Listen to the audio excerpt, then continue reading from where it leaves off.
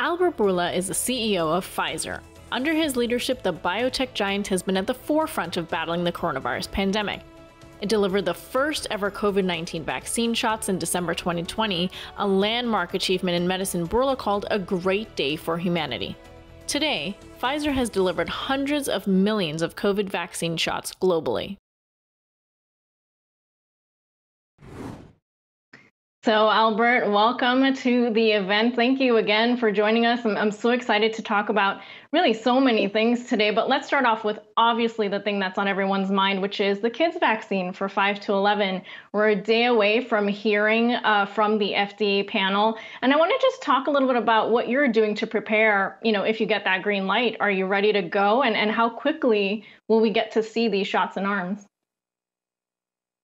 Yes, first of all, it's a great pleasure to be with you, Anjalee, and uh, thank you for the invitation. We are working uh, as uh, before uh, at risk. So, in parallel, we prepared the new formulations, and uh, if uh, we get a positive opinion and then approval from FDA, we will be, and then later from CDC, we will be ready to circulate immediately the new formulation for these kids.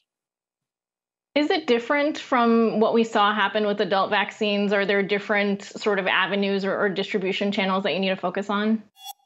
It's a different formulation. This is one third of the mRNA the injection uh, contains than the mRNA that we're giving to to the adults, and uh, so that's why we, we require to, to to make it in a very different way. Got it. Okay. Well, that's good to know. I'll definitely be keeping track of that. Um, when we talk about what else is going on, you know, the vaccine is obviously front and center, and we're going to get to more later. But I just want to stay on the vaccine for a few minutes and talk about what's going on globally, because that seems to be really something that you have to contend with uh, these days.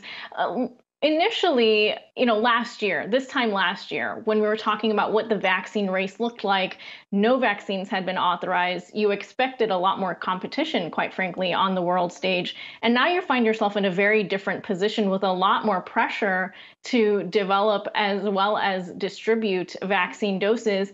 Tell me a little bit about, uh, you know, like what that has been like to, to see that and how that has changed your global strategy. Well, it was very, very true what you just said that uh, not only there were a lot of uh, potential vaccines that uh, would make it, but um, also we were for a lot of countries were not the preferred one because uh, uh, we didn't promise local manufacturing. Uh, there were other um, companies that they signed contracts offering that we will do it in Brazil, we will do it in South Africa. Um, we didn't do that. We said we are going to do it in our manufacturing sites wherever they are ready to do it right now. And also, mRNA was not a proven technology. So, as a result, we received not many orders from uh, countries other than the highly developed uh, income countries, the Europe, uh, the, the US and Japan, Canada. They were the countries that they had placed the orders. That I didn't like at all. And I actually sent letters to heads of states at the time of uh, low and middle income countries, telling them that everything that we have scheduled to produce will be allocated pretty soon. And if I urge them to place an order so that uh, we can, uh, let's say, reserve quantities for them, uh, they didn't. And uh, for their reasons, it's not that uh, eh, but nobody knew at that time. Of course, the situation changed when uh, our vaccine became so effective and so safe, and then um, other vaccines either didn't make it or they were not able to produce at scale. So everybody wanted to get from us. And we changed dramatically our strategy we had invested to uh, produce 1.3 billion doses for 2021. When we realized the situation, we put way more investments into the system, and we were able to raise the, the volumes to 3 billion doses this year and 4 billion next year. The 40, more than 40% actually, of these quantities uh, will uh, go to middle and low income countries by the end of the year, not in uh, next year, in, in two months. That will be the total. Right. And uh, so right now it is very disproportionate. We are shipping way more to low and middle income countries uh, than to high income countries, which is the opposite of what we did the first six months. I'm going to turn philosophical here. Would it have been different if you had instead of pursuing I mean, of course hindsight is 2020, but knowing what you know now, would it have been better to maybe work through COVAX more uh, more intently rather than uh, these bilateral agreements or have those worked out better in terms of keeping control over the the manufacturing process? No, we did work with with COVAX and again with COVAX was the same situation. COVAX they placed more of their bets in AstraZeneca and uh, they were uh, they placed very few orders in the beginning with our vaccine for many different reasons and then eventually things didn't work and they came back to us asking us for uh, way more quantities. What we did was even something better. We we had a tier price in our vaccine which means that uh, high income countries were getting the vaccine at uh, the cost of a takeaway meal. You all know it's 20 25 bucks. This is the, the price for a vaccine. But for middle income countries we are charging half of this cost to the government because they give it free to the citizens. And for the low income countries, we are charging at cost, non for profit. What we did, we signed with the US government an agreement that we are providing them 1 billion doses. I repeat, 1 billion doses at cost. Ourselves, we are not making profit. Then the US government takes those doses and they give it for free to the low income countries. The only uh, agreement that we made with them was that these doses, 1 billion, is to go to the poorest of the countries. The way that we administer, we administer through COVAX, the US government. And of course, we are working on the logistics. So eventually, COVAX is getting a lot of doses from us. Right. And and that's what's happening now, of course. Through other countries though, is that possible? I know I've seen some reports where other countries might want to do the same, but they claim that their contract restricts them from doing that. Can you clarify what's going on there? No, no, no. It's uh, we, we have uh, we have all countries that they ask us to donate doses somewhere else. We collaborated with them, and within two three days we gave them the approval to do it. There is no way that we will leave doses in a country that they are not utilized when they could go to a country that can be utilized. Definitely. And what about the South Africa hub? I was really, uh, really intrigued by the partnership you've created with Biovac Institute down in South Africa. Um, I know that it was supposed to be operational by early next year. Can you give us an update on the timeline on when we might actually see doses manufactured there? I think the timeline that we announced is the timeline that we will uh, will stick to. The, um, the the company that we are partnering with in, in South Africa is a company that we know very well we are already producing over there other vaccines. That is what enabled us to have, let's say, the, the confidence that uh, they can uh, do uh, the manufacturing with high levels of uh, quality because we are working with them uh, for, for a long time. So we will stick to the schedule and they will start manufacturing. And also, the agreement is that all doses that will be manufactured in Africa will stay in Africa. Of course, Africa will receive way more doses, from doses that are manufactured in other places, namely Europe and the US. Well, that's good. Yeah, that's that's great to hear. And obviously, that confidence bill uh, plays a role in why you wouldn't be able to say, just broadly speaking, you know, create more of these partnerships, or or even going back to the IP argument. I've I've heard your stance on that. You know, that it's not feasible and that it would create sort of unnecessary competition as well for raw material raw materials per se. But is there maybe a chance to have uh, done what maybe Gilead did initially, where it was voluntary licenses? And and if you have that much confidence that they really can't start from scratch, maybe just do it as a goodwill gesture, even to, to say, okay, here it is. I think that Moderna did. Uh, they waived their rights to intellectual property uh, so that anybody could do it for the low income countries. Nobody did. That demonstrates that what we were saying is true, that uh, they won't be able to do it just by out licensing. These are technologies, unlike the ones that, uh, for example, Gilead or antibodies, where they have been produced massively in the world before. The mRNA was never produced anywhere in the world. It was the first time that we produced. The machinery that we used to produce mRNA was designed by us. And then we asked manufacturers to manufacture the machines that we are using in our manufacturing plant. So it would be impossible, as it was, to, to do someone to scale up uh, within let's say, a reasonable amount of time, less than two years, for example. Right. Okay, moving on to the uh, the pill. That's obviously something that's really exciting coming down the line. Something that's very needed, especially for considering this virus to be, you know, with us for quite some time and to help with treatments. How quickly do you think we can get that really to the world? Because obviously you don't want to be in a similar situation as the vaccine. So have you thought about the distribution process there? Yeah.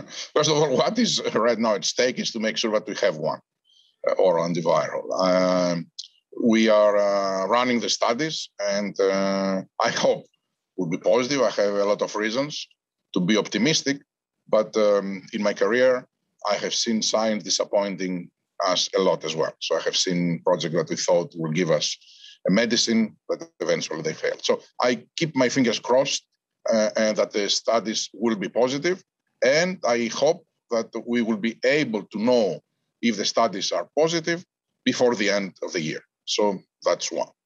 Uh, I have authorized uh, just uh, uh, three months ago um, and a, bit over a billion dollar of at-risk investment in manufacturing, which means that we already started uh, ordering raw materials, cleaning uh, new lines, clearing new lines, manufacturing lines, building equipment that is needed to manufacture that without knowing if it is going to be successful or not. That we did because we know that time is of essence. And if it is successful, we should be able to produce as quickly as possible. And again, we are asking uh, governments to, to, to, place orders uh, with us. And uh, we will do the same. So if someone comes from a low income country to place an order, we will honor this order and we will Absolutely. give an allocation. Uh, but they need to come to, to, to place orders. If they don't, we can't do it. Well, sure. I'm, I'm sure they're going to hear your message now, loud and clear. Um, I want to well, move I, I away have told from them multiple times, but uh, I, I have told them multiple times the vaccine, and I have told them multiple times with this one, and uh, not everybody uh, is uh, thinking that right is willing yeah. Well let's talk about j- just what this pandemic has really done for you. When right before it started you were still relatively new in the role and had taken over and talked a lot about a shift in how pfizer operates. You've shown your appetite for risk with pursuing mrna for this vaccine. How has that shaped your thinking about how really to uh, address the rest of the pipeline I think it was uh, transformational in our culture and in our thinking. Keep in mind that we have uh, one of the six business units that did the COVID vaccine, the vaccines business unit. So, and during that time, the other five business units in Pfizer uh, were watching vaccines becoming the saviors of the world. And guess what? They want also to have their own uh, COVID moment. They want also to have their own project in oncology and develop very quickly something that has transformational capacity for human uh, health. the same they do in uh, internal medicine or in cardiovascular disease, on multiple other therapeutic areas. So I think the biggest transformation for us it is this cultural uh, transformation of people that think that nothing is really impossible. That if you aim very very high, you can always think out of the box and find solutions to things that you never thought that uh, will be solvable. And this is the uh, the, the, big heritage that uh, the COVID uh, vaccine leaves us to be able to repeat that in cancer, in rare diseases, in immune responses, in everything. And one of those things, thinking outside the box, is the warranty program you created for one of your lung cancer treatments. Tell me a little bit about what you hope to achieve with this, and and may, are we going to be able to see this apply to maybe some other products? Hopefully. We are um, this is a, a, project that tries to um, guarantee the performance. It's based on the value. There is a price that uh, the healthcare system needs to pay and also there is a, a, participation of the patient that they need to pay for this drug. And uh, there are some expectations uh, about the performance of, of the drug based on the clinical trials. So in uh, in a demonstration of partnership, what we did with the payers was that uh, uh, the patients pay for, for the medicine and the, the system, but uh, if the medicine does not deliver the expected benefit in particular patients, we pay back both the money that the system pays to us, the insurance company, and the money that uh, the patient paid us in terms of copay. Um, I hope that we will be will see that that project will be successful, and we would like very much to implement it into other areas as well. Okay, well, one final question for you. Obviously, drug pricing is on everyone's minds, and I've heard some of your responses to, broadly speaking, the topic. But I wonder on the specific point of drug of price increases, annual or regular increases. Uh, do you think that there needs to be some sort of curbing or some sort of uh, regulatory oversight into how quickly and how much uh, prices increase? You know, the, the, the, the issue of uh, drug pricing is a real issue in the US, but it is not the issue that some people think and present. This, the total cost of medicines to the healthcare system represents 12%. This is how much the employer, this is how much Medicare pays to us in terms of, of uh, how much it pays to hospitals, physicians, everybody else. So by definition, this cannot be the big problem when you are 12%. And by the way, it's going down, not up. For example, in the first six months, Pfizer reported minus 5% in net pricing of uh, US medicines in the US business. And it was uh, minus also the years before. So that's not the problem. But I'm sure that our patients, the patients that are taking our medicines, didn't experience this minus 5%. Experienced 2, 3, 5, 10, 20% sometimes increases in how much they have to pay, what is their participation for the cost of the medicine, because the two are not uh, connected. We have a problem here. The Americans are paying for their medicines like if they don't have insurance, although they do have insurance. And this needs to change. This needs to make sure that it will not be the case moving forward. I'm sure that if they have to pay less, that will be a cost. And the system will have to absorb a cost. Who is paying for that cost? I'm willing we are willing, the pharma industry, to participate and pay our fair share, pay even more than our fair share, as long as everything that we provide goes to release patients from their out of pocket. Where we disagree, it is policies that uh, will take all the money from the pharmaceutical industry and move them to the black hole of the federal budget to do other things. This is not the issue right now. The issue is the out of pocket of patients, which is very, very high. That's what we need to address. If there are other projects that also are much needed, like the infrastructure project, I agree that everybody should contribute based on some rationale, but not necessarily that we target the pharma industry to fix the infrastructure. We should target corporate America. We should target everyone who can contribute so that we can resolve the infrastructure. Everything that the pharma industry is giving extra on top of that needs to go to release the out of pocket of the patients. It needs to make medicines affordable. Definitely. Well, I wish that you and I could solve that problem together here, but unfortunately, we're out Why of time. Why don't we try? Um, we should have next time. Albert Bourla, CEO of Pfizer, thank you again for joining us today. Pleasure and hope to have you back soon. Thank you very much. Pleasure.